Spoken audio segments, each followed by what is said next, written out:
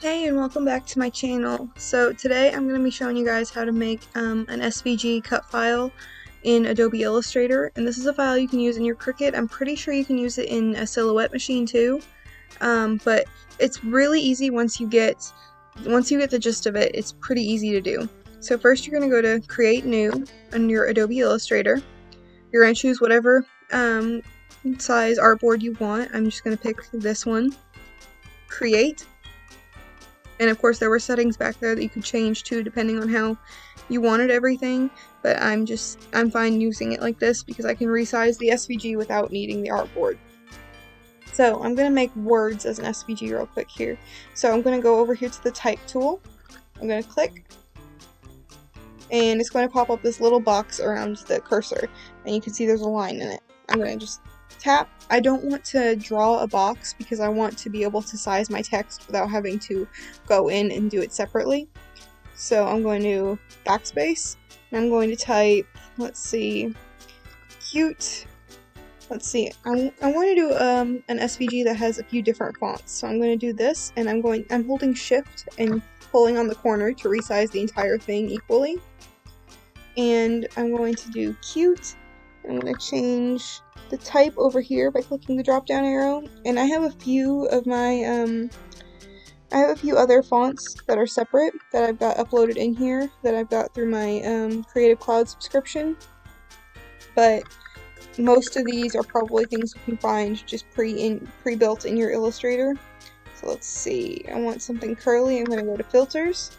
I'm going to choose a script flowing or calligraphic and these are all extra steps if you want if you just want your SVG to look different. The basics are um, going to be coming up right here. So this is just what you do if you are going to make a word SVG so I'm going to do cute down here but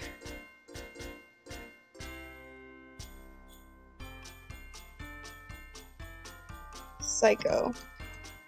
Something I've seen that I just think is funny so, and again, I'm holding shift and dragging at the corners to resize this equally. I'm going to change this font. Actually, I think I'm going to change the word but. I'm going to change that to a different font, and I want that to be something um, simple. So let's go to sans serif without serif and see this is all pretty simple um, types. So let's move that one down this. Again, shift in the corner to change the size. And I'm arranging this just how I like it. And now, okay, an easy, um, if you want swirls and things like that around your text, something really easy to find that is, um, I'm going to type ABC using the type tool, or the text tool, what is it called, type tool. Shift and enlarge. And so there's a font actually built into your program that you can make swirls with. So I think it's in decorative down here. You're going to sort by decorative and filter it that way. It's not that. Let's see. Scroll down, scroll down. And I type a I just type ABC or anything really just so that I can see um I can see I can when I hover over these different fonts I can see a sample of it. And so I just do that so that I can see when I'm coming up to um, the swirly font. So see here's some. Um, there's a few others. Let's see. I need to find the one that I like. In here. Da, da, da. Um, here's a few others too. They aren't swirls, but they're just fun shapes like that. And those are easy to convert into your SVG. Um, banners. Let's see. So here's something like that too. So let's just take this and I'm using my arrow to go back around the one I don't want. D, there we go, okay. So I just type different letters. Each letter is a different shape. So now I'm going to pull on this. I'm not using shift this time because I want it to resize so that I can fit the word psycho in it. Or maybe, maybe I should do but. We're going to do but in there. Um, no, we're going to do cute. Cute is going to go inside my box here. I'm using my black um, selection tool. The black selection tool will let you select whole pieces, so like this. And the white selection tool, it won't do anything right now because I don't have any um, drawings on my board, but it will let you choose specific points. But I'm using the black tool because that's what I need to do is I need to select exactly what I want. Okay, so I'm going to put this where I want it, and then I'm going to hit control and then the number 2, because that locks it. Now see, I can't pick it when I'm trying to click on it, and that also helps because I can't move it on accident trying to pick my word. So I've got, let's see, I'm sizing this up to get it in there. I'm using the arrow keys moving it up just a touch, and down, and getting it in where I want it.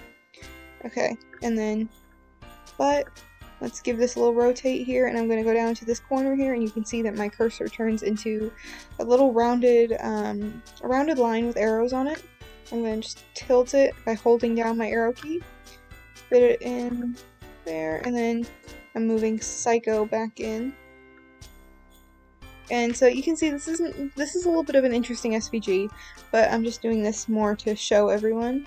Um, so now I'm going to go up to the top of my screen, and you can't see it up there, I don't think, but I'm going to go to, let's see, Object, and then Unlock All.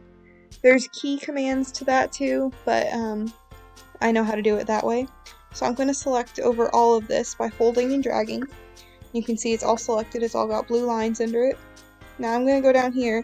Because this is all type, I can go onto my right side down here and go quick actions and it's create outlines. Or um, this may be something I've set after, and so I can go to type up in the top um, on the left. Next, to, it's in between object and select on my monitor. And I can click create outlines, which I deselected now because I clicked the outside of the art, um, the artboard. But when I have everything selected, I can do create outlines from there. So type, create outlines. Now I'm going to go back and select all of this and scroll down on my right, create outlines, and you can see it's all outlined in blue. But you can see too that ceiling, let's zoom in, I'm to zoom in here. You can see that like the U cuts into the U, the C cuts into the U, um, and they're all separate shapes. So I'm to zoom back out. I'm going to go down here to Pathfinder and click Unite. And you can do that up here, I believe, in Object or Window, maybe? Um, blend, um, it's not blend. You can find it um, in one of these menus as well, but this is how I do it easiest. So I zoom out, and you see it's all one piece. If I click anywhere on this, it's one piece, it selects everything. So now I'm going to go up to File, Save As, I'm going to save it as a .svg file. I'm going to go ahead and just save it to my desktop, name it cute, but psycho, and save. And I'm just going to hit OK. Now I'm going to go down here to my Cricut program that I have minimized here. I'm going to show you how to upload these designs into Cricut. So you're going to go to upload. I was in the canvas there. You're going to go to upload, upload image, browse, and then you're going to choose the name of the SVG you want. Uh, cute but psycho. And it's going to take a minute. There we go. Okay. So you can see it's uploaded here and this is the preview I have. So I'm going to hit upload and it will go into my canvas. And then you can see this is something I like to do. Um, I sell my designs on Etsy and so this is something I like to do before I post anything is make sure that it actually is one piece and will cut the right way, how I want it. Um, before I put it for sale and you'll see, no, it is not right. Let's see. Okay. So these are all these different dots here. So we're going to go back over to Adobe Illustrator. And I'm going to hit Unite again. Oh, here's what I forgot. Okay. So you're going to go to Object in the top left, and you're going to hit Compound Path Make. And that makes this one compound path. Now I'm going to save this as, and I'm just going to write, write over the um, file I already saved and go back and do the same process in Cricut. I'm going to delete this. And I'm going to go to upload. Upload my image, browse, scroll scroll until I find my cute but psycho. Upload. And add to canvas. So you can see now it's all one piece. So again, back to this, it's going to be, let me show you. We're going to take this off and just get rid of this by backspacing. I'm going to type out these here for you guys so you can see it just a little bit easier. So you're going to create using the text tool select all on the screen. Then you're going to um, create outlines. Right hand. Or type. And then create